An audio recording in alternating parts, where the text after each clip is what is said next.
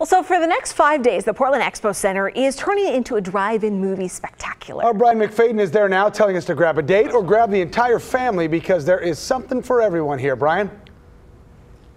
Well, Jim, is that is that popcorn good? It is not bad at all. I would I would eat some right now, but I'm, I'm talking to mm, Okay, you do it. I'm going to eat. Well, you it's talk. Chris and Nina. I don't want to eat with my mouth full. I don't wanna interrupt. to You talk do- to them and the folks in Portland here. Yes, the next five days, Chris, Nina, this is amazing. By the way, Mike G, take a look at the the parking lot here. We have this whole entire theater to ourselves. In about, in about two and a half hours, Mm-hmm. this place is going to be packed. I'd say what, maybe less than two hours. But It's the movie it's started at coming eight, eight o'clock, eight I know, 8:30. Shining is here is going on here tonight, but this is going to be fun for the whole entire family. You got concessions, you got a beer garden, you got gaming over here. I see bocce ball for the older folks, and you also have a haunted house. Mm-hmm. And tomorrow, what are the what? Give, give me the movies for the next uh, four days. Yeah, so tomorrow we have Raiders of the Lost Ark, which is a fantastic Yeah. movie. On Friday, Harry Potter, Sorcerer's Stone. On uh, which Saturday, is great for the kids, by the way. Fantastic. That's a wonderful mo- movie.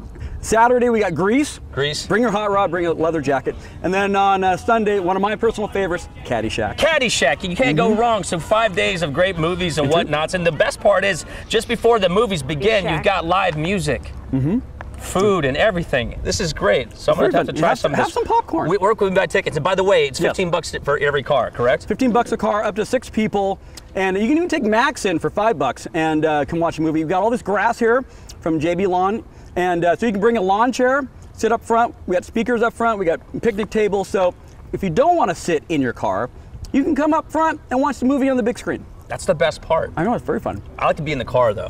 Well, I don't want to be around people just being chatty Cathy's, you know. I hear you. You get, you get all the options, man. Yeah, this is great. I'm glad that we're um, watching a movie together tonight. Uh, in- indeed.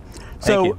Yeah, it starts tonight. Uh, gates open at 6:30. 6:30. Thanks a lot, man. The Shining, Chris, Nina. This is something we could do together, uh, the three of us, because the sun's gonna go down. I'm hot, by the way. It's a little the warm. sun's gonna go It's down, like- and it's like- we could we could take in a movie together. I'm gonna I'll hydrate on my, my water here. There you go. That screen, Back Brian. guys in the studio. By that the way, screen is huge. It's big. Yeah. Red rum on the big screen. All right, Brian, thank you so much.